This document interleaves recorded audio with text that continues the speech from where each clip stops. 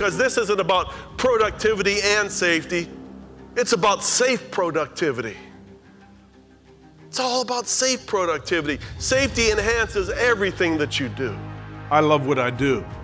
It's my passion and purpose to help both leaders and workers come together to improve safety and EHS performance, to catapult your current level of safety achievement to an entirely greater level of success.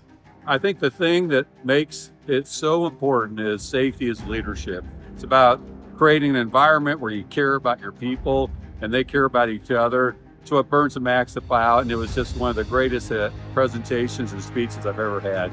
My first real job was as a laborer in heavy construction. I worked at a mine prep plant outside of Wheeling, West Virginia.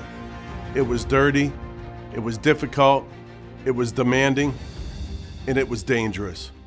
If it weren't for some of the veterans looking out for me, I wouldn't be alive to tell my story. He took a room of grown men and women and motivated them, got them to think about safety. And the first time ever I've seen this group give somebody a standing ovation. David Sarkus is electrifying, he's knowledgeable, he's funny, and he's just downright outstanding. I'm the son of a steel worker who grew up in steel country just south of Pittsburgh, Pennsylvania. I'm someone with decades of experience. My father influenced my life calling. My dad told me stories about workers who slipped and fell into a molten ladle of steel. Their bodies disintegrated, but production never stopped. Dad also told me about the smog disaster here in Donora. In 1948, 20 people died over one weekend.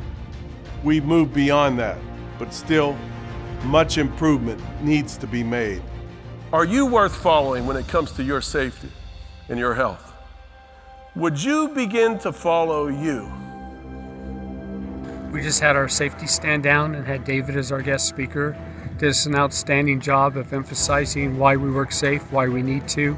Really entertaining, very engaging. It's a great speech. As a laborer, I've worked in the trenches, and as a consultant and coach, I continue to work with executive leaders. I've been very fortunate to speak and consult for some of the biggest and best organizations in the world.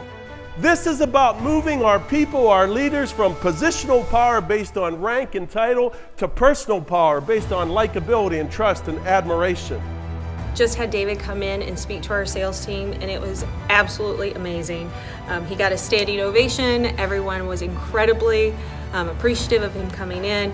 Couldn't have been more excited. We're all pumped. It was just such a great speech. Thank you so much, David. I bring people together, getting them excited, engaged, and energized about improving EHS performance, connecting hearts and minds, and stirring your vision for excellence, moving your people to action and reductions in injuries that exceed 80%. He promised each and every man, I will not lose one of you, not one of you will I lose. He had what Peter Drucker says is so important for us as leaders. He had empathy. He was able to look through his men rather than simply at them, through them to see what they valued so that he could connect with them emotionally. We owe a debt of service to the greatest generation, our moms and dads, grandmothers and grandfathers who paid the price, at times with their very lives best conference he's ever been to and the best speaker he's ever had. He made it personal, he made it funny, he involved the people. Great speaker. Presentation was phenomenal. It was tremendous. It was incredible and it was empowering. It was phenomenal.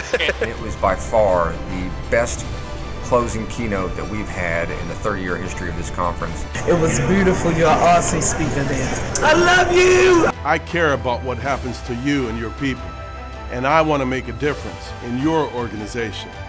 Let's go.